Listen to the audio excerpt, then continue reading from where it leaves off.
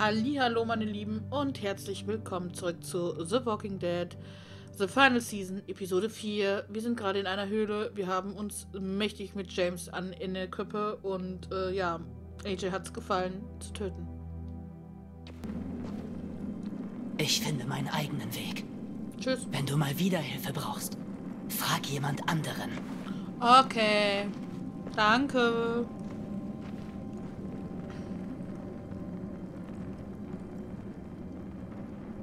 Clem? Was denn?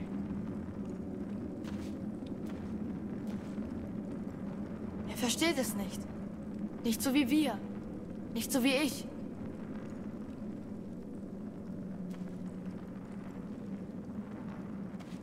Ich helfe dir, Clem. Vertrau mir. Ich weiß, welche Leute böse sind. Ich werde nie schießen, nur weil ich es mag. Nur, damit unsere Freunde sicher sind. Bitte, glaub mir. Ich weiß ganz genau, wann es richtig ist.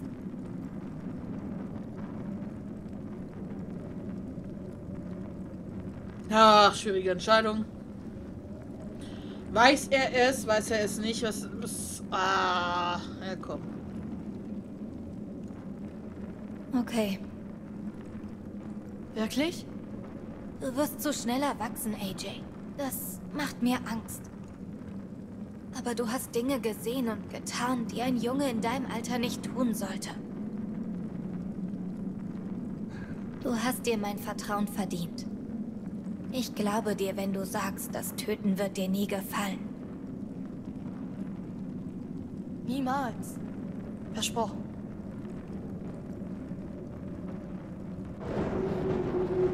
Spürst du das? Ich sag doch, da wo der Wind herkommt. Ja, da geht's raus.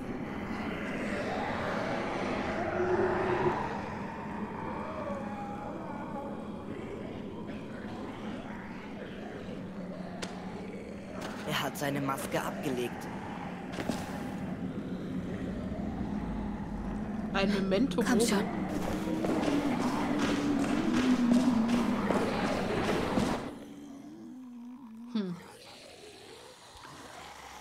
Oh mein Gott. Ich meine, AJ hat sich das ja auf eine Art auch verdient. Er hätte ja schließlich auf dem Schiff in der letzten Episode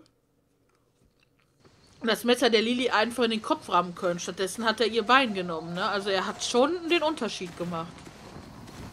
Finde ich jetzt mal. Ich bin so krass müde. Tut mir leid, dass ich so oft gehe. Ne?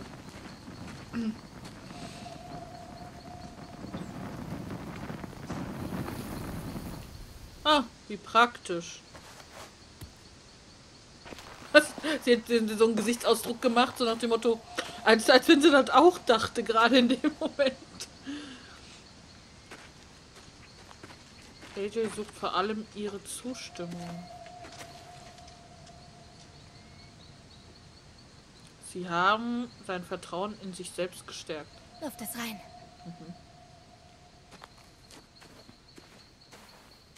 Wenn's dort zur Küste geht, geht's wohl dort zur Schule.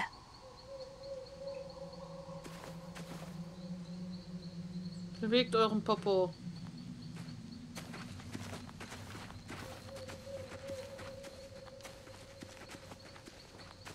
Asim war der Dritte. Hä?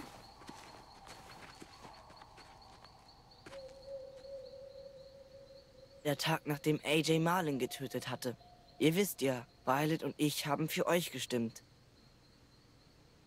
Asims Stimme war die dritte. Das heißt, Oma hat gegen uns gestimmt? Und Ruby auch? Äh, ja. Wie kommst du darauf? Asim meinte, ihr wisst, wie man überlebt. Er wusste, die Schule würde mit euch sicherer sein. Ich habe für euch gestimmt, weil ich euch mochte. Aber sein Grund war besser. Ich. Ich dachte nur, das solltest du wissen. Asim hatte recht. Wir waren sicherer. Wir hatten am Anfang mehr Angst, als wir zugeben wollten. Es ist echt lieb, dass du das sagst, Hen. Danke. Schon gut. Ich muss nur dran denken, weil die Gefahr vorbei ist. Wir jetzt zurückgehen. Ich mag Kasim. Wenn Marle noch das Sagen hätte, würden wir alle verschleppt werden. Oder wir wären tot. Stattdessen haben wir uns gewehrt. Ihr habt uns gezeigt, wie. Malen waren wir nicht sicher. Sogar in der Sicherheitszone haben wir uns nur versteckt.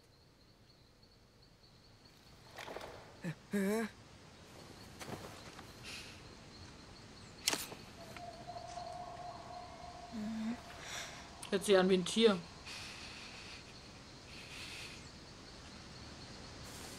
Nee, doch nicht. Violet.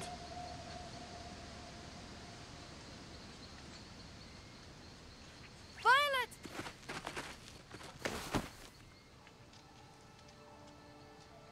Ihr habt es geschafft. Ihr lebt alle noch.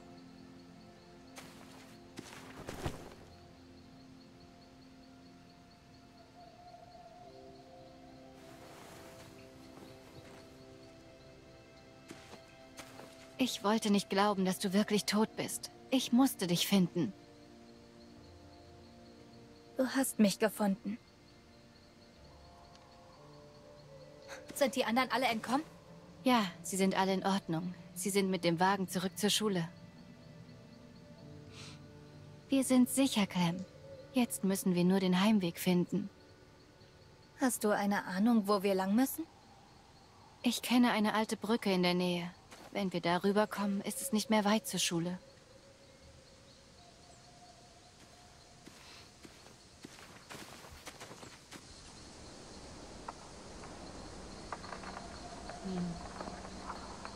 Kann jetzt auch jetzt nur meine Einbildung sein, aber irgendwas ist...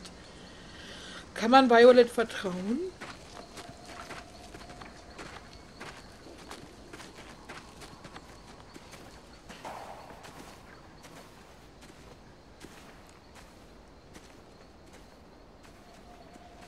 Während wir nach euch gesucht haben und ich... Ich dachte schon, ihr wärt tot. Oh, verdammt.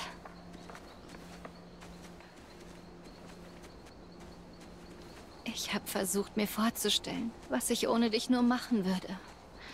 Und da merkte ich, wie dumm ich war. Wegen Minnie. Mehr als ein Jahr lang. Ja? Ich war so darauf fixiert, dass ich sie und Sophie verlieren könnte, dass ich alle um mich herum verprellt habe. Marlon, Brody, Louis, selbst dich und AJ. Ich wollte, dass ihr mir alle egal seid. Ich weiß, was du meinst. Wenn so viele Leute gestorben sind, ist es einfacher, niemanden an sich heranzulassen. Irgendwann fragst du dich, warum du überhaupt um dein Leben kämpfst. Das frage ich mich nicht mehr. Na doch, man kann ihr vertrauen. Sie wirkte gerade am Anfang ein bisschen eigenartig.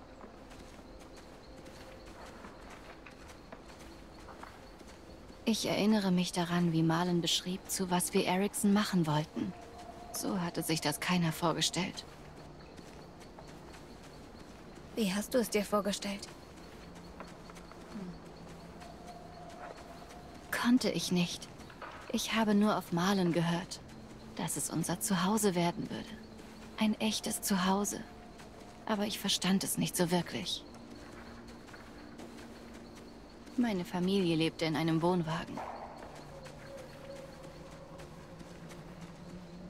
Was ist mit dir? Wo hast du gelebt? In einem Haus mit meinen Eltern. Mit Zaun drum und einem großen Garten. Was hat dir am besten an dem Haus gefallen? Ich hatte ein Baumhaus im Garten. Dort habe ich immer stundenlang gespielt mit meinem Walkie-Talkie. Ich stellte mir vor, ich wäre Kapitän auf meinem Piratenschiff. Oder es war ein Iglu und ich war Jägerin. Oder ein Schloss und ich war die Prinzessin. Echt? So richtig mit Kleid und Krone? Ja, aber auch ein Schwert. Eine Kriegerprinzessin. Ja, na klar. Nur wegen dem Baumhaus lebe ich noch. Dort versteckte ich mich, als das anfing. Ja, da können wir uns daran erinnern. Ach komm, Erickson kann immer noch das Zuhause sein, das uns Marlon versprochen hat. Wenn wir zurück sind, bauen wir es wieder auf. Hm, das wird verdammt viel Arbeit. Aber du hast recht. Ich glaube, es ist die Mühe wert. Wir könnten sogar ein Baumhaus bauen. Wir haben schon einen Glockenturm. Okay, wir bauen einen Glockenturm. Perfekt. Nachdem all das passiert ist, glaube ich nicht mehr daran. Ich meine, wir haben doch darum gekämpft. Es verteidigt. Wir sollten uns heimisch fühlen, aber es geht einfach nicht. Weißt du, wo das Problem liegt? Dieser dämliche Name, Erickson. Willst du den Namen ändern? Ja, scheiß auf den Vogel. Es sollte einen coolen Namen haben. Bedrohlich, aber nicht gruselig. Etwas, bei dem Arschlöcher sagen, da gehe ich nicht hin. Aber auch nichts wie blutendes Mördermesserhaus. Du entscheidest. Es war deine Idee. Texas. Wir nennen es Du Texas. kannst es nicht einfach Texas nennen. Na gut. Texas 2. Ich will beim Wiederaufbau der Schule helfen.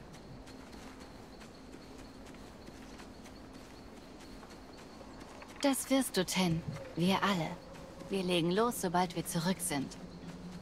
Gehen wir heim nach Texas 2.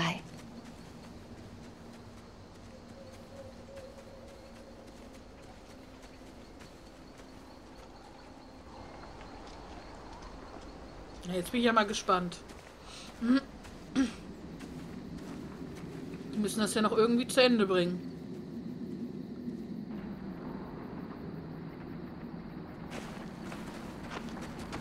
Ich hasse solche Brücken. Mit so einer Überdachung. Ich weiß nicht, ich mag die nicht. Gut, lass dir Zeit und bleib immer in Bewegung.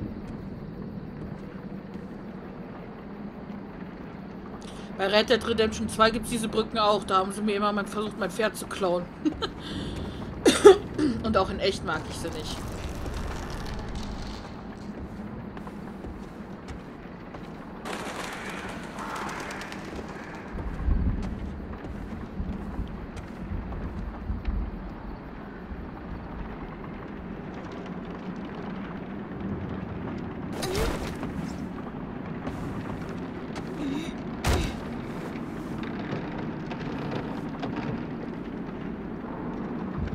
Knatscht gerade alles so mega. Irgendwie kann ich mich nicht. Doch jetzt.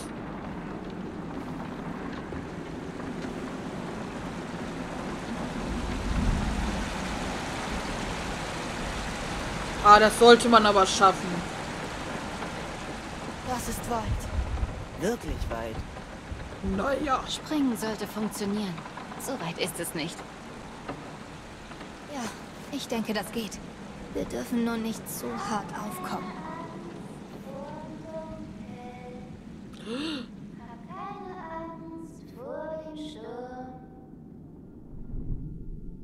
Oh, das ist creepy. vor den Monstern. Die Nacht ist bald vorbei. Oh mein Gott, das ist so creepy. Oh, Mini? oh nee. Gut, dass ich nicht gelogen habe.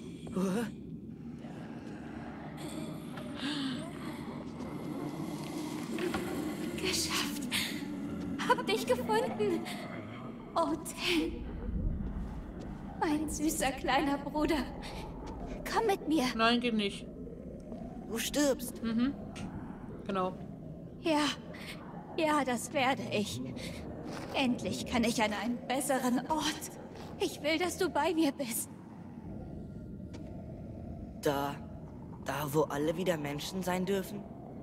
Äh, Dann werden wir bei Mutti, Vati und Sophie sein. Ten, bitte mach keine Dummheiten. Fall nicht drauf rein. Aber ich.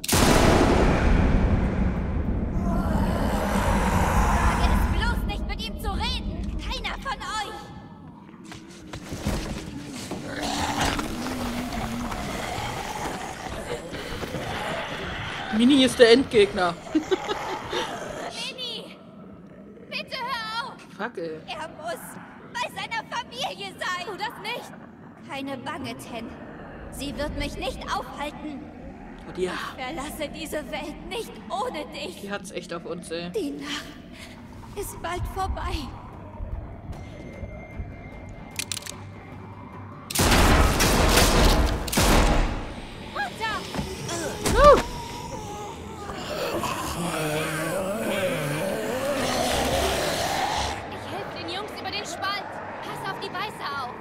Toll.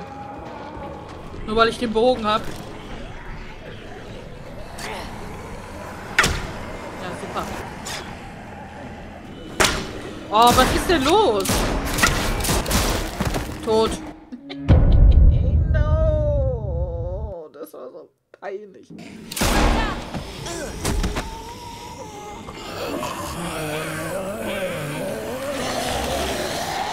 helfe den Jungs über den Spalt. Pass auf die Beißer auf. Ja, geht klar.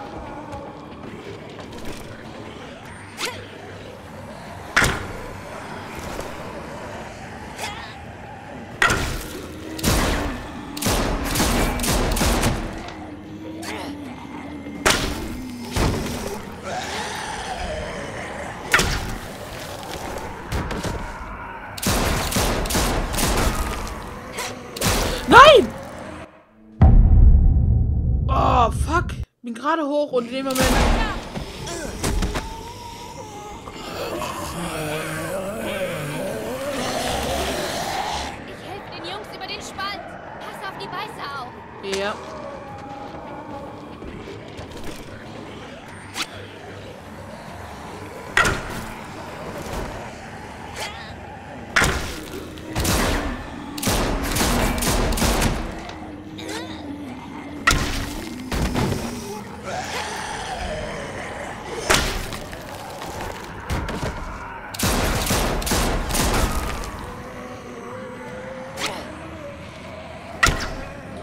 War lame.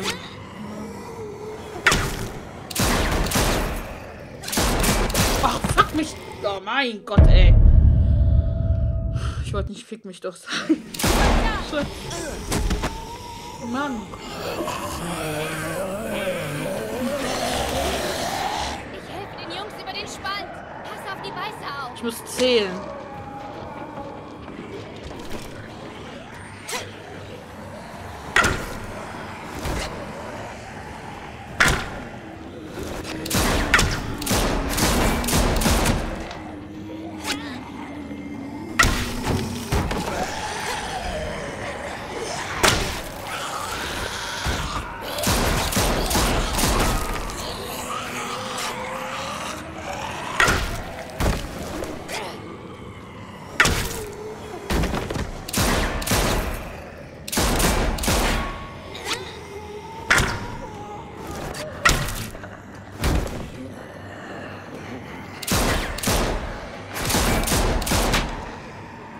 AJ ist drüben, Oh. aber Ten will nicht springen. Sie aufhalten.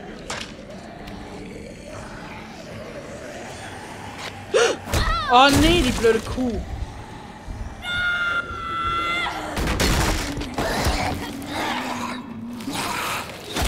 Danke. Toll, mein Bogen. Du bist nicht seine Familie. Du bist nur ein Hindernis für mich.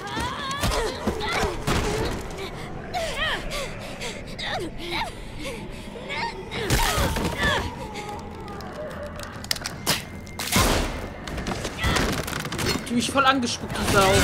Uh, das ist scheiße. Oh, fuck. Oh nee, das muss genäht werden.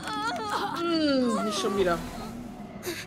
Ich bringe Ten nach Hause. Ich gehe nach Hause. Geh weg.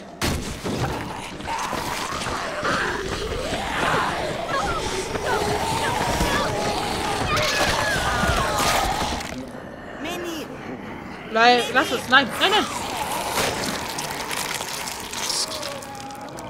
Komm rüber, ich hol Ten. Was?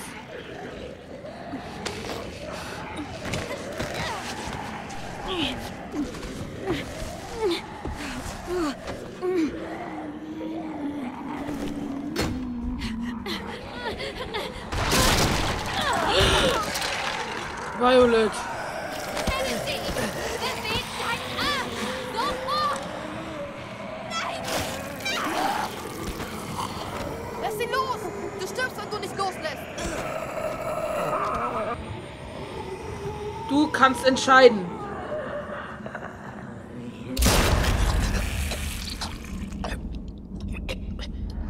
Violet, bitte schnell!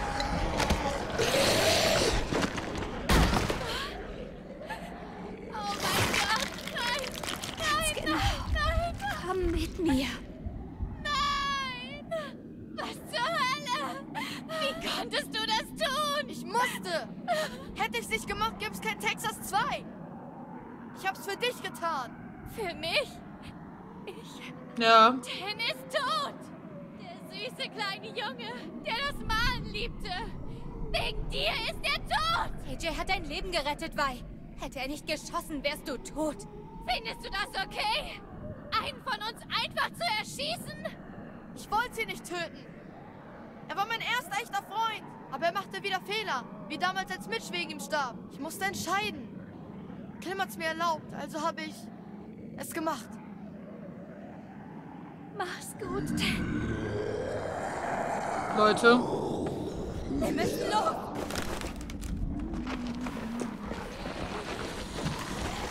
Die Monster locken uns in die Falle. Ich weiß. Toll, und mein Bein Ich ist im Arsch. zuerst und fange euch dann. Wieso habe ich das Gefühl, dass sie das nicht tun wird? Komm schon. Ach, Mist.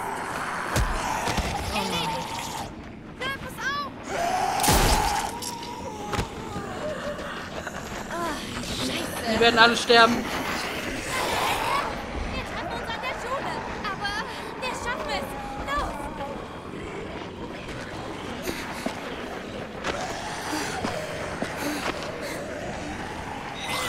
Clem, da können wir klettern. Gute Idee. Zuerst das.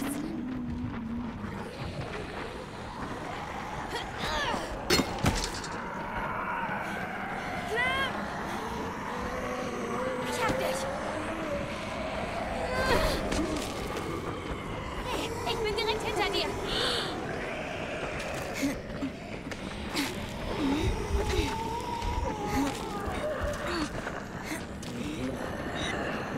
Halt dich fest!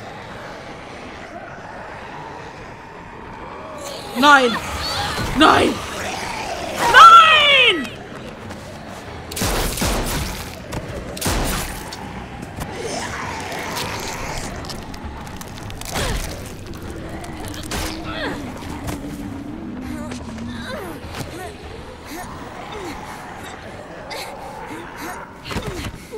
Oh mein Gott, nein! Nein! Mein Gott, das ist nicht wahr. Ich heul gleich. Das ist nicht wahr. Clem! Bein!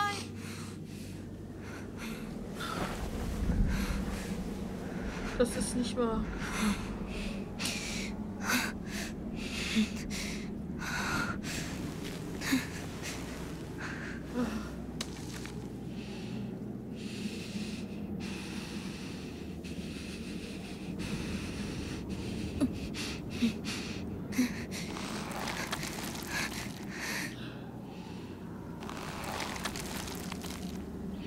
Nein! Oh Gott, mir ist übel.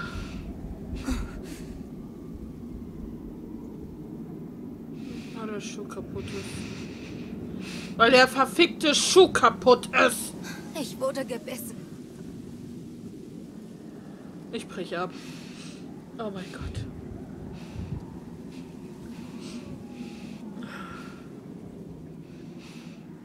Das ist doch Kacke.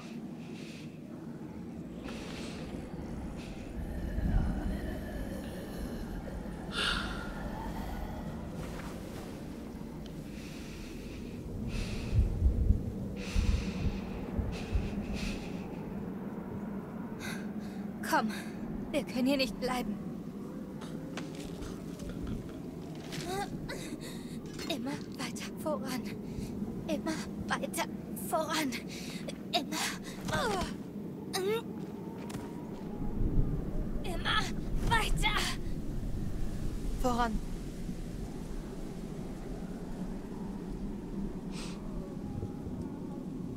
Voran.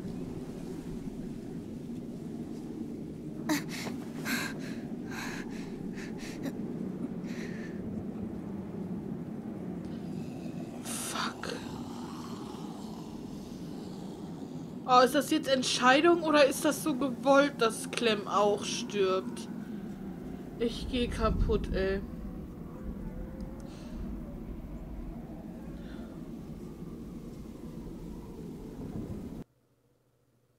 Das macht mich fertig.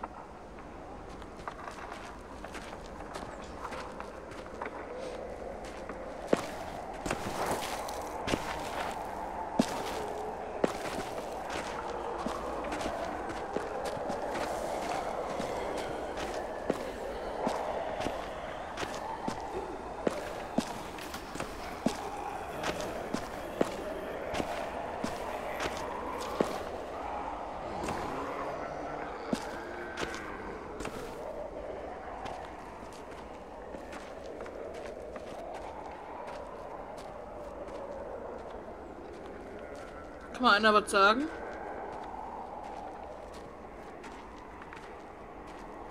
Hey, ich hab dich lieb.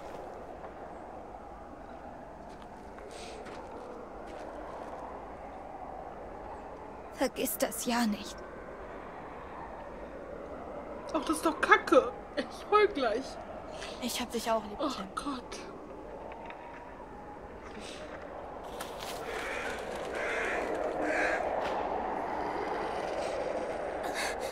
Immer weiter voran.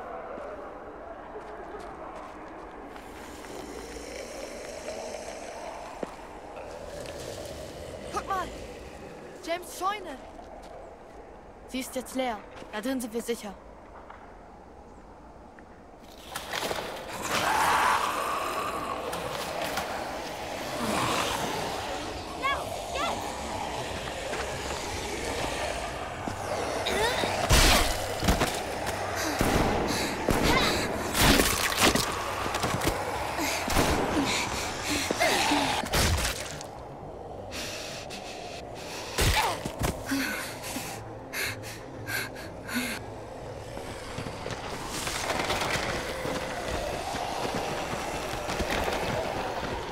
Los!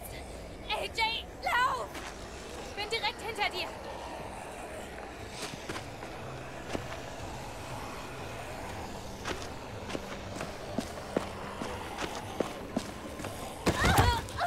Oh, Clementine. Ich kann ihm. Nicht schneller. Los, Clem! Das schaffen wir!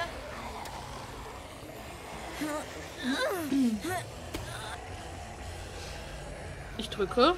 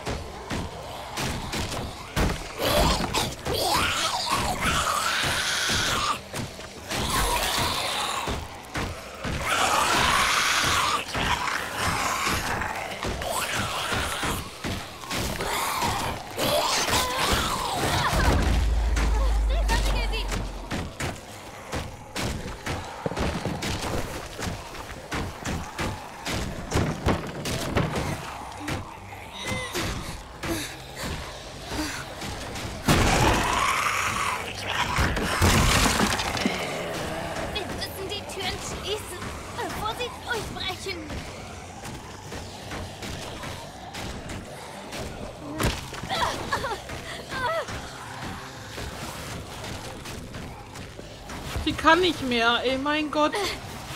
Ich bin.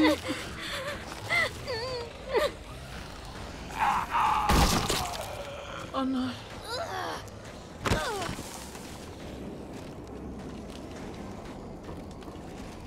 Gib mir Deckung. Oh mein Gott. Das ist gerade so abgefuckt hart, ey. Ich muss Schluss machen, Leute. Leider. Ich weiß nicht, wie lange die Folge jetzt noch geht. Ich denke, ich glaube, die wird nicht lange gehen. Auf jeden Fall. Naja. Tschüss, bis zum nächsten Mal. When I'm at the range, you know